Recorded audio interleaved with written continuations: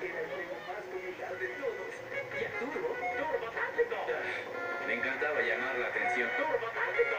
Así que cuando a Rob Blasters lo enchufaron y se robó a los fans de Turbo, ¡Juego nuevo! ¡Qué bien! wow, se puso celoso. Es mejor que Turbo, tan celoso que abandonó su juego y trató de conquistar al nuevo.